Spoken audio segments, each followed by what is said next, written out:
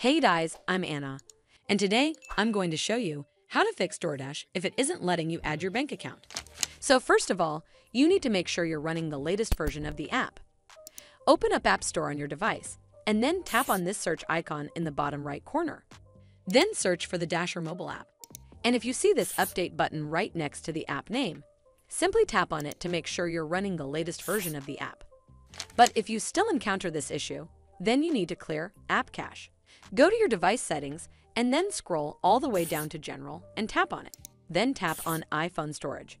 From here, search for the Dasher mobile app and then tap on it. Once you're on this screen, you need to tap on Offload app.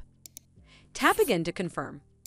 It'll take a bit for processing, and then a reinstall button will show up. Simply tap on it to reinstall the app.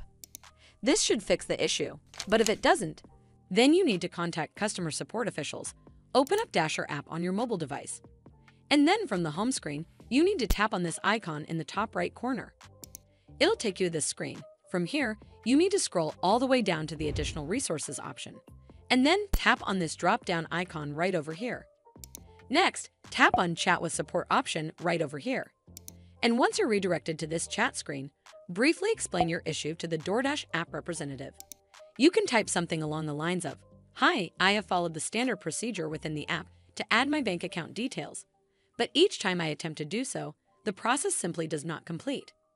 I have cross-checked that the information I am entering is accurate, and I have also tried this on different devices to rule out any device-specific issues.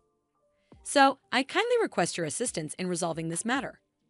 Hopefully, the DoorDash app representative will help you fix the DoorDash driver app if it isn't letting you add your bank account. I hope you found this video helpful, and if you did, make sure you give it a thumbs up to see more videos like this, and don't forget to hit that subscribe button. We'll see you in the next one.